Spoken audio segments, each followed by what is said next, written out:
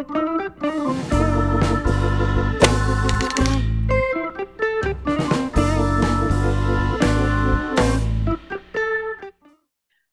everyone, and welcome back.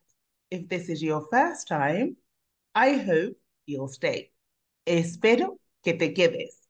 Hoy estamos hablando con alguien de un país súper encantador, súper chiquitito. Eso es lo único que voy a decir, porque ahora ella misma se va a presentar. Adelante. Hola a todos, todas y todes. Mi nombre es Ana Jensi, eh, soy del Salvador y pues ahora vamos a estar hablando sobre el tema afrodescendiente en El Salvador. Fenomenal. Entonces, tú eres afrodescendiente, ¿no?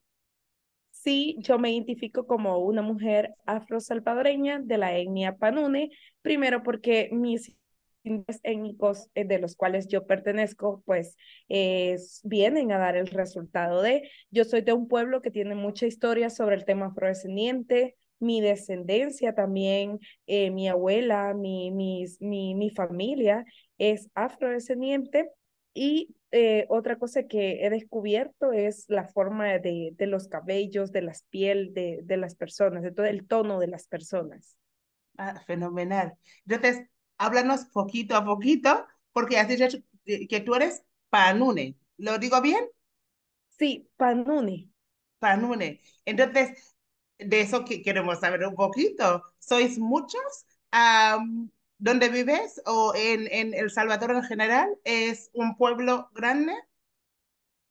Bueno, eh, primero hay que decir que es difícil identificarse como afro-salvadoreño en mi país, pues porque las personas quieren vernos como con características de persona de Costa Rica, Nicaragua, eh, República Dominicana, el mismo Brasil, pero no comprenden que simplemente somos afro-salvadoreños con nuestras propias características. Entonces, eh, yo digo que soy de la Iña Panune porque tuve la oportunidad de leer El legado africano de Miguel Ángel Ibarra que se llama Cafetos en Flor, el libro que él escribió, el primer eh, autodenominado como afroamericano, que ese es otro debate también, porque la gente piensa que cuando hablamos de afroamericano estamos refiriéndonos a Estados Unidos, a personas afroestadounidenses, cuando en realidad yo también soy un afroamericano vivo en el continente americano. Entonces, a través de este libro, eh, yo descubrí sobre mis raíces y como yo vengo de un pueblo de historia, y es, y, y es uno de los indicadores que uno tiene que tomar en cuenta, de dónde viene.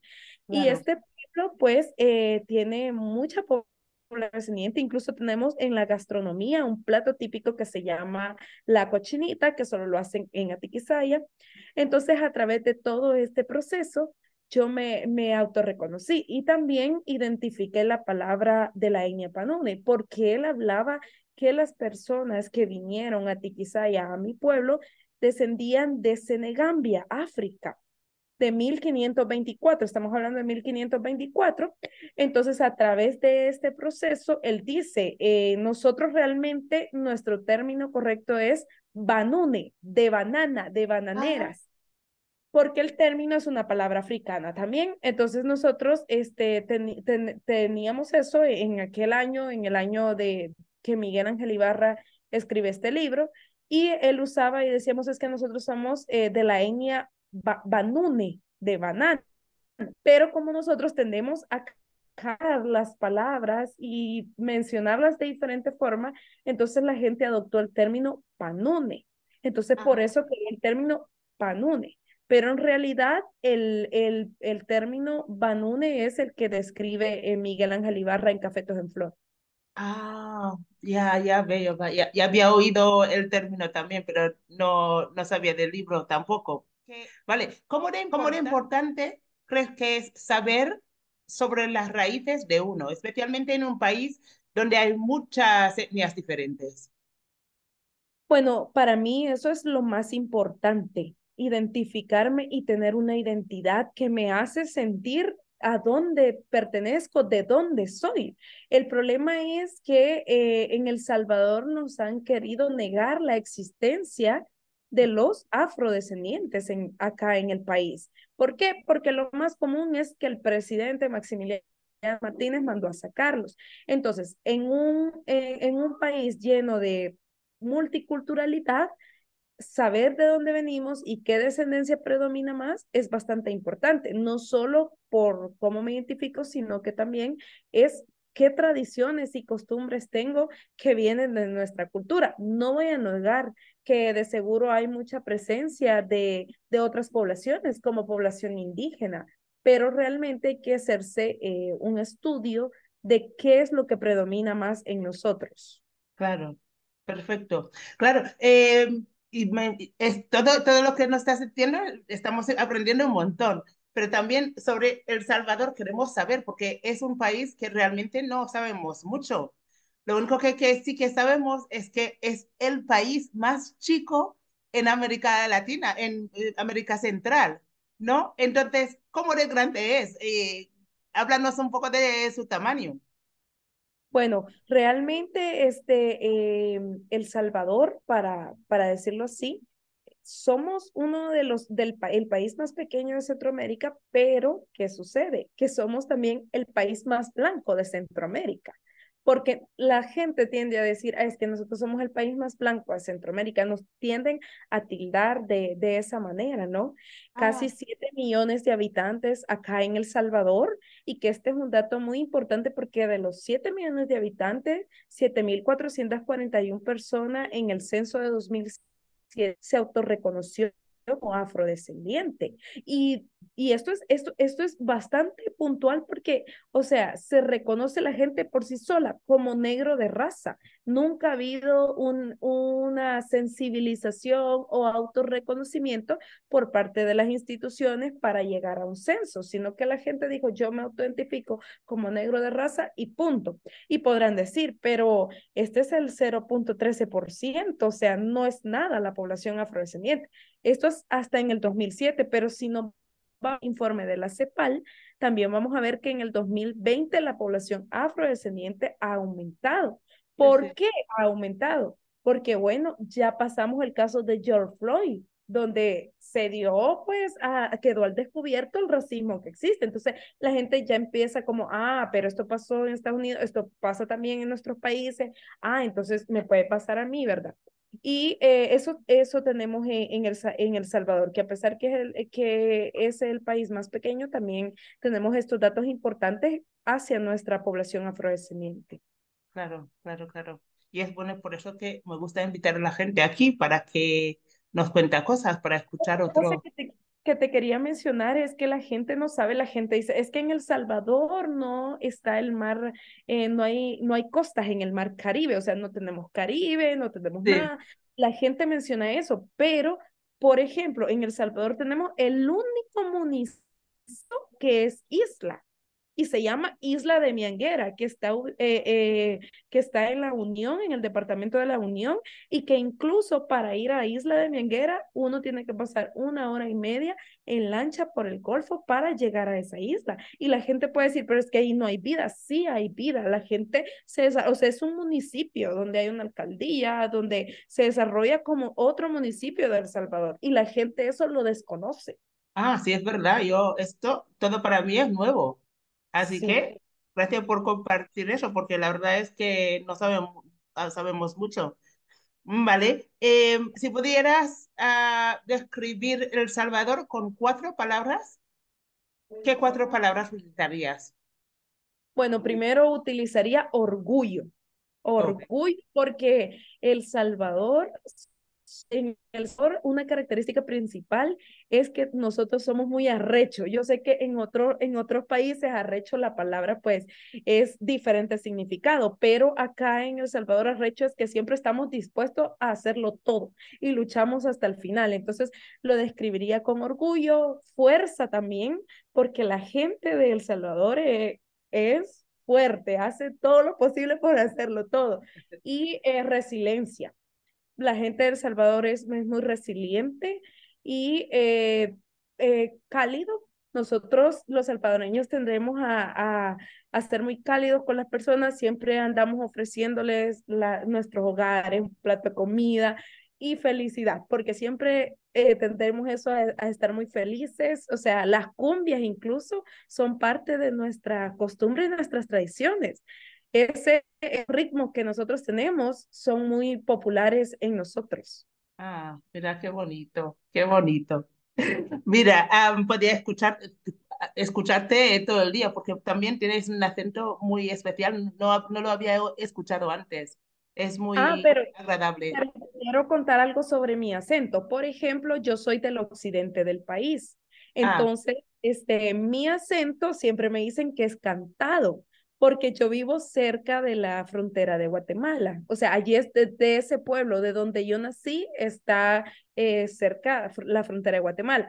Pero si te vas al oriente del país, normalmente la gente tiene otro acento y la gente del centro para central tiene otro acento. La gente de oriente siempre tiene a hablar más con la J, ¿me ah, entiendes? sí, sí, y sí central y en la paracentral la gente tiende a hablar más técnicamente, pero es ah. porque estamos eh, en, ese, en ese norte, sur, central y paracentral, que a pesar de que es muy chiquito nuestro país, pero existen diferentes acentos y diferentes comidas. Porque de donde yo soy, en Occidente, nosotros no comemos las pupusas con mayonesa o con este, eh, salsa negra, salsa dulce. Y en el del país comen las pupusas así. Entonces es como vivo en mi mismo país, pero es diferente nuestra Con identidades diferentes, ¿no? Sí, así es. ¿Hay alguna palabra, por ejemplo, que decís mucho en El Salvador que a lo mejor en otros países de habla español no, no, no se utiliza?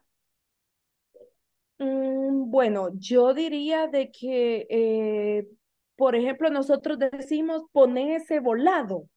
Mira, uh. mira ese volado. Ay, a ver. sí, ese volado. Nosotros tenemos, esa palabra es como, mira ese volado, es para señalar esa, eh, el objeto que vos tenés, que lo movás o que lo pongas o para decir algo que, una palabra que querés que se haga. Y uno dice, mira ese volado, señala una moto, un cuaderno, y que en otro país no se va a mencionar. Cuando uno le dice a la gente, mira el volado, ¿qué es eso? O sea, ¿cuál volado, verdad? Porque la gente pues quizás malentiende esa palabra. Entonces, esa pienso que, que es propia de nosotros porque eh, no he escuchado en otros países esa palabra de volado. Volado, pues no, es la primera vez que lo, la he oído, pero me gusta, ¿vale? Em, para ti, porque claro, hay tantas cosas, no solo en Salvador, pero en España, en Jamaica, en Inglaterra, que a mí personalmente me gustaría cambiar, pero tú, si tuvieses el poder, ¿qué cosa te gustaría cambiar o de tu región o, o de El Salvador para mejorar? Bueno, en el caso de mi país, quizás lo que me gustaría mucho cambiar es la currícula educativa de, El Salvador, porque este, así uno no crece pensando que ser negro es un delito o que, por ejemplo, cuando estoy niña me tengo, no encajo en otros lados, no me miro representada en otros lados porque en mi pelo es diferente a otras niñas. Entonces, este, cambiaría eh, la currícula y a, hacerles entender que un niño afrodescendiente no es lo mismo que un niño que no es afrodescendiente y que nosotros tenemos nuestra propia peculiaridad. Y quizás en la región también lo que cambiaría es el impulso que la gente, el trabajo que la gente devalúa en las personas que trenzan. O sea, e, este trabajo en Centroamérica es muy mal pagado, la gente lo ve muy malo, no lo ve bueno y realmente es un peinado que significa la libertad de muchos esclavos en aquel momento. Entonces yo eh, cambiaría eh, esas dos cosas en mi país y Claro, claro. yo creo que eso de esa perspectiva sobre las trenzas y las rastas, no solo en, en El Salvador, pero en muchos países, eh, en el Caribe, en, en muchos sitios, en muchos sitios. Así que tardaría un poquito, pero poco a poco. Vale, em, un sitio bonito en El Salvador donde dirías, mira, Kerry, tienes que visitar este sitio por su encanto. ¿Qué sitio eh, puedes, si puedes pensar en uno? Sí, bueno, este, El Salvador es un país, como les digo, muy cálida, su gente, muy alegre y tiene lugares muy, pero muy bonitos. En el caso de nosotros que trabajamos el tema afrodescendiente de la fundación, tenemos identificada una ruta afrodescendiente una, hemos identificado territorios afrodescendientes. ¿A qué viene eso? Que las personas que nos están escuchando tienen que saber que hacer esta ruta no solo aprendemos, eh, está llena de, de, educación, de cultura, sino que también de turismo. Pero un lugar que yo los invitaría a que visitaran es Isla de Mianguera.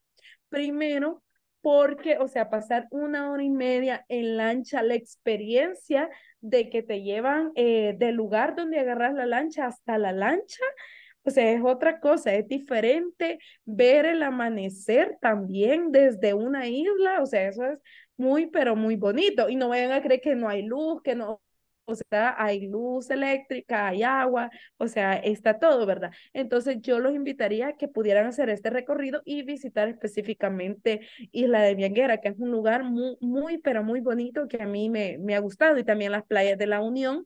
La gente cuando viene aquí a El Salvador, al Salvador siempre dice, ay, vamos al Tunco, porque es la playa más cerca en, en San Salvador. Sí. Pero la Unión eh, también hay muy, pero muy bonitas playas. Ah, pues mira, eh, eh, esto de cómo, cómo es um, la ruta, la ruta de las flores, la ruta de las flores. Eh, ah, mira, ¿sabes de la ruta de las flores? Sí, sí, sí, mucho, mucho, mucho. Entonces, ¿tú esta ruta la has hecho muchas veces? La ruta de las flores yo la he hecho porque yo soy de, del departamento de Aguachapán, también donde está la ruta de las flores. Pero la ruta que nosotros hemos diseñado es la ruta afrodescendiente, que esta Ah, ruta ok. pasa, sale desde Aguachapán a Tiquisaya Ah, y vale. vale. pasa por San Vicente, por La Paz, luego se va al oriente del país, eh, San Miguel, eh, La Unión, que también pasa por ahí. Y en todos estos lugares, por ejemplo, en Atiquizaya tenemos el platillo típico de la cochinita. En Zacatecoluca tenemos el A ver, a ver, monumento. que no te pare. Eh, ¿el plato este qué es? Un, es, ¿Es asar el cerdo o cómo es? No, es un horneado de cerdo. Es un horneado de cerdo, o sea, es como que en las Navidades, por ejemplo, es algo común que nosotros comamos pollo horneado o pavo horneado. Ah, Entonces, el cerdo es de esta manera, es cerdo horneado con recaudo, solamente que es cerdo. Pero sabes que un dato muy importante de esta comida es que, bueno, hace 300 años, o sea, existía esta comida y que solo el municipio donde yo soy la tiene. Y otra cosa importante es que antes la, a la gente eh, negra solo le daban la cabeza y a los españoles le daban el cuerpo y los negros no podrían comer el cuerpo del cerdo, ¿me entiendes? Entonces era como, ah, la cabeza es lo que ya el desecho, que se lo coman, ¿no? Hay que vean ellos. sí, sí, Entonces sí. este, es, es muy buena, se come con arroz y pan francés los días domingos, o sea, solo los días domingos vas a encontrar eso. Ok, qué bien, qué interesante. Vale, ¿y qué te hace sentir muy orgullosa de ser, a ver, afro-salvadoreña? ¿Qué te hace sentir ese orgullo? Bueno, realmente mi identidad como una persona afro-salvadoreña, saber de dónde vengo, pero sobre todo lo que me hace sentirme muy orgullosa es que eh, mis ancestros han forjado y han desarrollado la historia, eh, han sido parte de este proceso, no solo en El Salvador, sino que en el mundo. Y en el caso de El Salvador, eh, han sido parte de la creación del Estado-Nación que hoy conocemos como El Salvador. Entonces, todo eso, eh, toda la cultura, eh, toda mi descendencia, mi, mi piel, mi, mis trenzas es lo que me hace sentir muy orgullosa de ser afro-salvadoreña. Muy, qué bonito. Y la última pregunta, ¿cuál es tu lema de vida? Bueno, realmente eh, yo un, un lema de vida que tengo es que no importa el color de nuestra piel, no importa el color de, eh, de dónde vengamos, de nuestra identidad, es importante que nosotros por dentro nos sintamos identificados con las causas. Y algo que sí tengo es que yo eh, he sido activista y defensora de derechos humanos desde los 14 años y la perseverancia y la resiliencia ha sido parte de mí. Entonces, por eso es que en el lema del Salvador digo la otra historia del Salvador. No queremos ser eh, agregados, sino que queremos ser incluidos esos son parte de mí porque son los que me han llevado a descubrirme y a identificarme. Incluso ayer hacía un post que decía Freedom, que es una canción de Beyoncé que significa libertad. ¿Y qué sucede? Yo también eh, pasé 15 años de mi vida eh, creyendo y queriendo cumplir estándares de belleza que nos impone el sistema racista. ¿No? Entonces era como, ay, no, este cabello, ay, no, que si no lo, llevo arreglado, que si no sé qué. Entonces, desconstruirme me ha ayudado muchísimo. Y es por lo que yo lucho siempre, ¿verdad? Porque no quiero que las demás personas se sometan a algo que les imponen y que no quieren. Aceptar nuestros cuerpos, aceptar nuestro cabello y aceptarnos como somos. Claro, claro. Ana, muchísimas gracias por su tiempo y por haber compartido tanto con nosotros sobre tu cultura y tu país. Y estoy segura de que los que están viendo esto, pues van a sacar algo muy valioso. Mil gracias. Y con eso, chicos, os vamos a dejar. Y por favor, contestad las preguntas que están ahí abajo.